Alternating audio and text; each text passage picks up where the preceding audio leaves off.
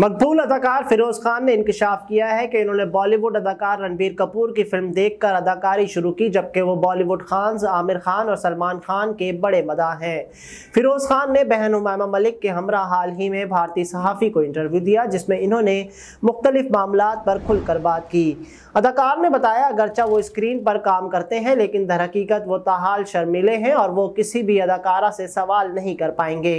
इन्होंने कहा, अगर इन्हें मौका मिला तो वो कतरीना कैफ जैकलिन फर्नांडिस और दिशा पटनानी से इनकी फिटनेस और वर्जिश से मुतालिक पूछेंगे।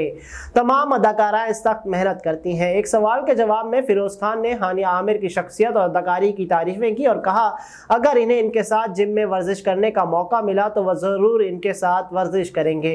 जब इनसे पूछा गया, अगर सजल अली इन्हें चीनी के बजाय नमक मिली चाय दे दें तो वो क्या करेंगे? इस पर फिरोज खान ने कहा कि सज्जल अली की जानब से दी गई नमक वाली चाय भी वो पी लेंगे।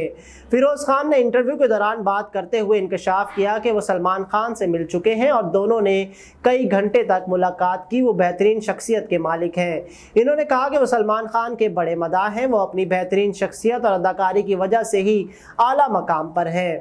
इन्होंने खुद को आमिर खान का भी बड़ा मदा करार दिया और कहा कि वो इनकी फ़िल्में शौक से देखते हैं और अगर इन्हें इनसे कुछ पूछने का मौका मिला तो वो इनसे इनके किरदारों की तैयारी से मुतल सवाल करेंगे। अदाकार ने रणबीर कपूर से क्या पूछने के सवाल पर कहा कि वो इनसे फ़िल्म रॉक स्टार में काम करने का तजर्बा पूछेंगे, क्योंकि इनकी फ़िल्म इन्हें बहुत पसंद है। मस्कूरा फ़िल्म को देखकर ही इन्होंने अदाकारी शुरू की थी। फिरोज खान ने मजीद कहा कि रॉक जैसी फ़िल्म सदी में एक ही बार बनती है और इन्हें इसी फ़िल्म के हिदायतकार इम्तियाज़ अली के साथ काम करने की ख्वाहिश है।